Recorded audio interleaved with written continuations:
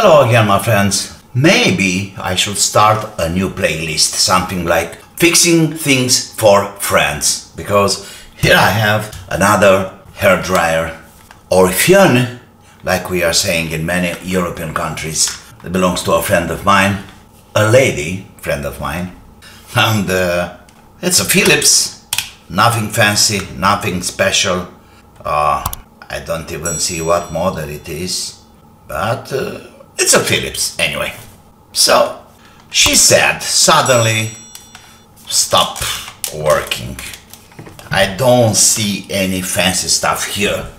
Uh, it's very possible to have that thermic or thermo fuse uh, burnt or not exactly burnt but switched off it's very possible like always I'm starting with having the short control I may say. We are good. And also it can be the cable. Let me take a look at the cable. Well doesn't look bad. No it's nothing wrong with the cable except being twisted. Okay. How can we open this guy good question. Is this going out? A lot of hairy stuff. Of course it's a hair dryer of course. How can I open this? Oh we got a screw here. Let's take this out got anything to push? Or that is just for no that is just for you know keeping the surface. Okay.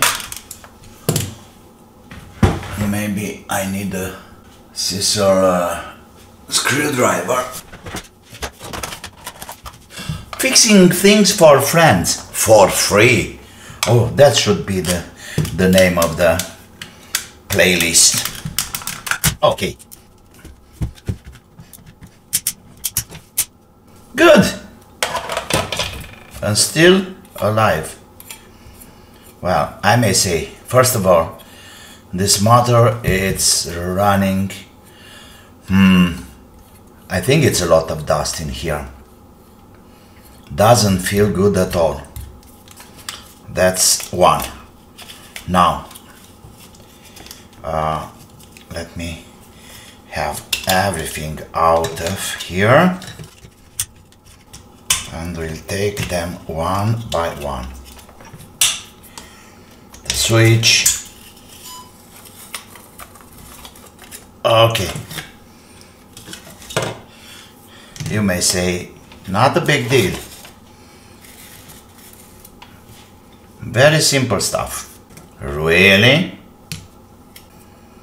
okay let's start with the cable. It's very good there. And the other one the blue one.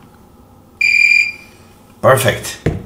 Now let's see about the switch. So we have one pole here. What? Already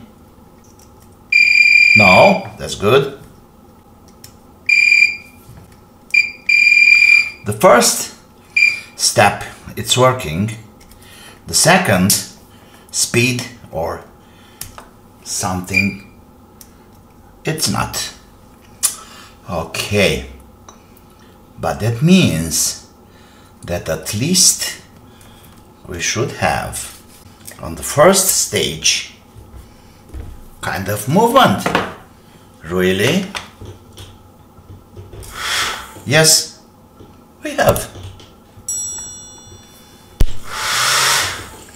And it's hot. And second stage. Nothing. Okay it's out. Well I forgot to turn on the camera that camera. So uh, again I should start a new playlist fixing things for friends for free. And here I have a Philips hair dryer, which is looking like the second step here. Oh no, I'm wrong. Now is the second. Okay.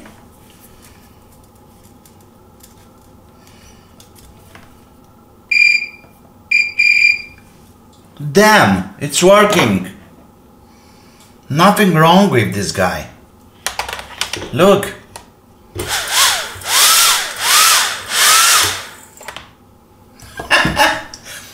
now it's working. How the heck? Yes, I know how. You see there, inside there.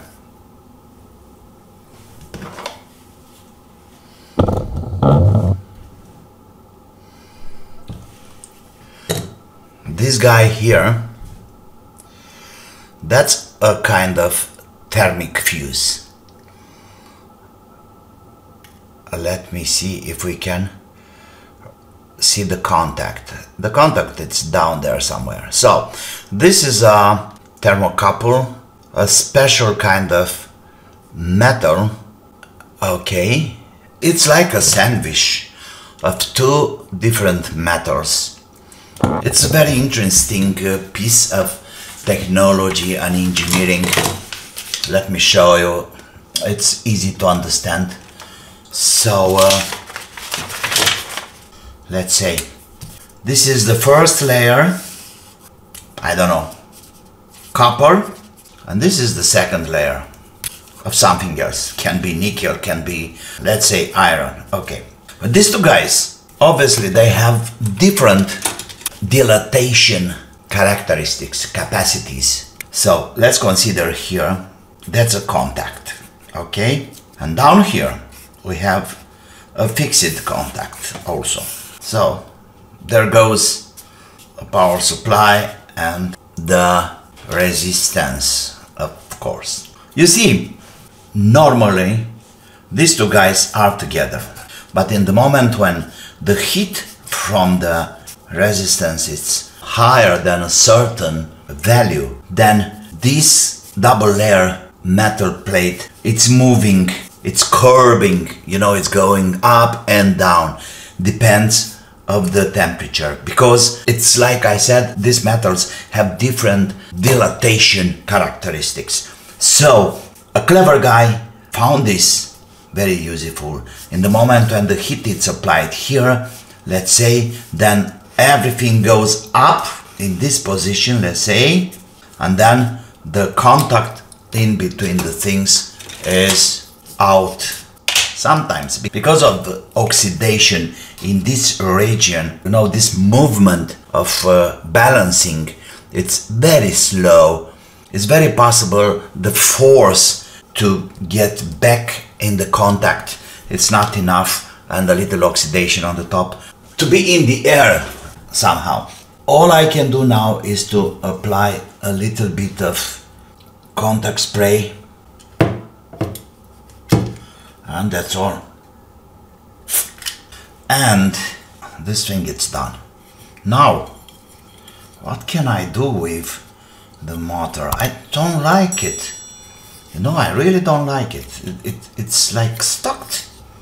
For me doesn't feel like we have enough uh, freedom here or maybe that's the way it have to be but I'm pretty sure it's not so I am afraid I'm ruining everything, but I'm gonna have a drop of oil here in this region. Hmm, I can't. Oh yeah, that's fine. It went exactly where I need it. Hmm, feels better. Okay, now Nothing else to do but to put all the things back together. Hmm. Easy job. Yeah, it's fine. There's this going farther down. Really?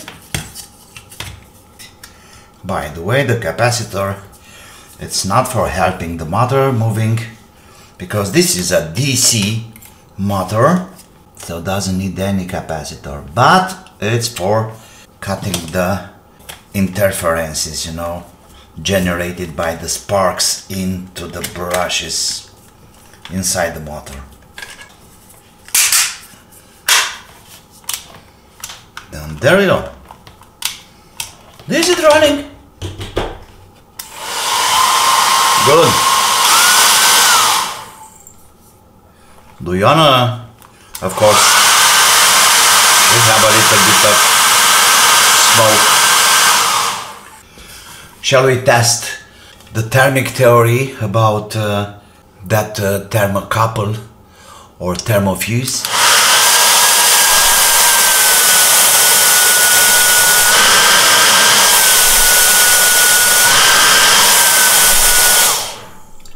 And voila! It's done you saw that? Yeah. We have some fumes from the oil. Now it's nothing to do but to wait for the thermocouple to come back to the initial position. Let's give a little help. So you saw that. It's very secure. A little help.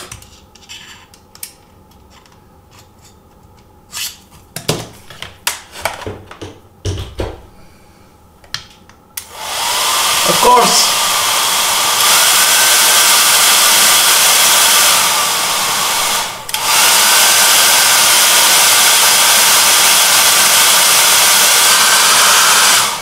Probably it's pretty oxidated, but I don't want to open it up and you know, probably, I'm not sure, or maybe that's the way it have to be, you know, to stay open.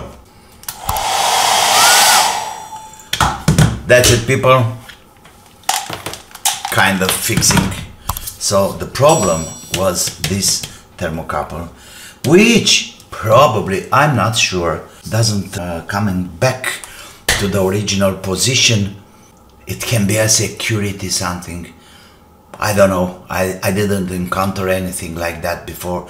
Usually after a while, the contact it's uh, it's back. Well, we'll see. Well, I think it was interesting, huh? And like usually, please don't forget to subscribe to my channel. Push the like button. I'm waiting your comments. If you know anything else about this kind of thermic fuses, please write them down.